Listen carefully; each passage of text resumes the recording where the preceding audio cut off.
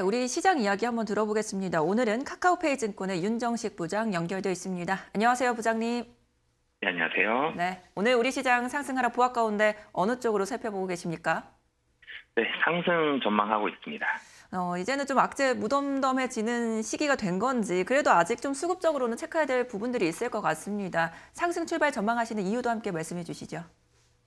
어, 전체적으로는 좀 전에 말씀 주신 대로 시장이 좀 안정세를 찾아가고 있는 모습이 완연하게 좀 모여, 보여지는 모습입니다. 환율이 1214원으로 마감을 했죠. 21원이나 한 번에 하루 만에 하락을 하는 모습.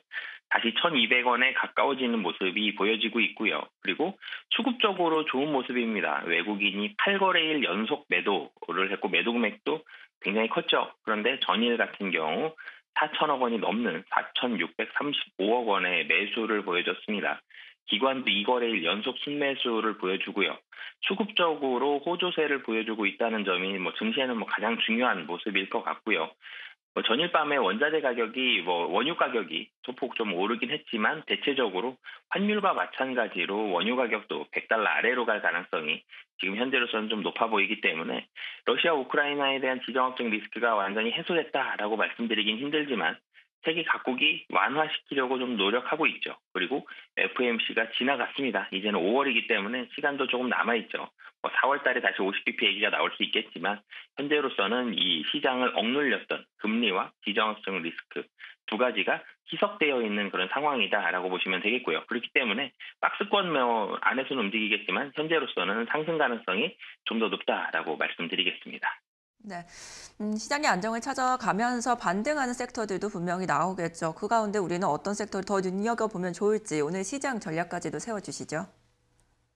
네, 우선은 좀 전에 말씀드린 대로 2,800 안에서 좀 박스권 내에서 당분간은 좀 움직일 가능성이 높습니다. 그렇기 때문에 오늘도 상승한다고 하더라도 상당히 좀 제한적인 상승이 반등이 될 가능성이 높아 보이고요.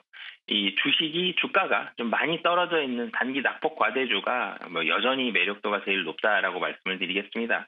이 실적이 뭐 좋아지는 종목들 굉장히 좋아지는 이런 종목들도 좋겠지만 시장이 여전히 뭐이 뭐 여러 가지 리스크가 완화됐다고 하지만 보수적인 상황은 맞거든요. 그렇기 때문에 단기 낙폭 과대주 그리고 이 대선 이후기 때문에 그리고 코로나 확진자 수는 많아지지만 경기는 확실히 활성화가 되는 부분들을 체감할 수 있습니다. 대선도 끝났고요.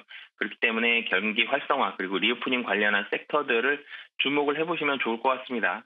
이 가격 원재료 가격들이 많이 올랐지만 음식료 섹터는 여전히 좋은 상황이고요. 가격 인상 한번 했는데 이렇게 뭐 추가적으로 더 오른다라면은 원재료 가격이 오른다라면 하반기에 가격 인상 한 번 더 할 수도 있고요.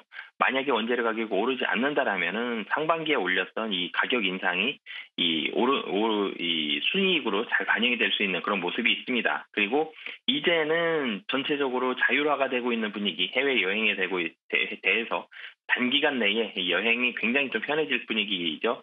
그렇기 때문에 LCC라든지 여행 그리고 소비가 늘어난다 그랬을 때 이 경기가 위축됐을 때 제일 먼저 타격을 받았던 게 의류였습니다. 이제는 소비 이 경기가 활성화가 되는 이 초입 부분에 있는데 음식료는 올라가고 있는 게 보여지죠. 의류도 마찬가지로 좋게 볼 수 있을 것 같습니다. 그렇기 때문에 음식료, LCC, 여행, 의류 이런 섹터들 관심 있게 보시면 좋을 것 같습니다.